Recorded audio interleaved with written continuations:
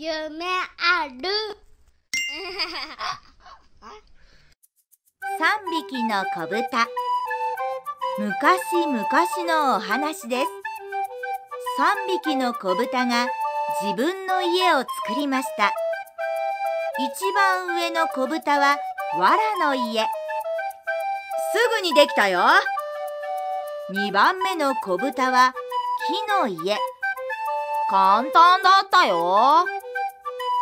そこへ悪い狼がやってきました。こんな家一吹きだ。鼻息をふー。藁の家も木の家もバラバラになってしまいました。助けて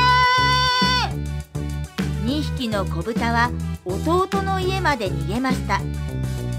一番下の子豚は硬いレンガの家を作っていました。頑張ったから丈夫にできたよ。3匹まとめて食べてやる。狼は大きな鼻息をうぷー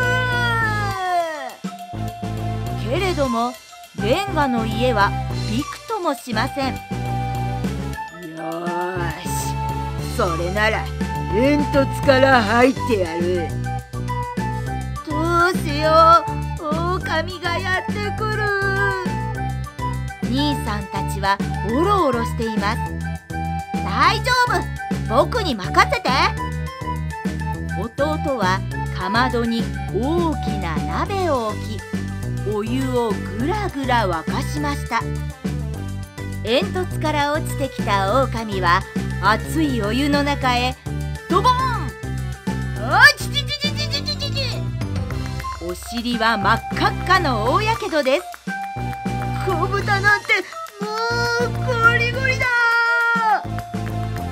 狼は逃げていきました。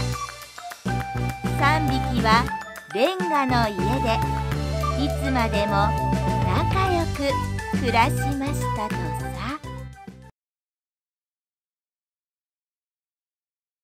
とっても楽しい童謡手遊び、キッチンアプリがいっぱい。詳しくは、夢あるで検索してね。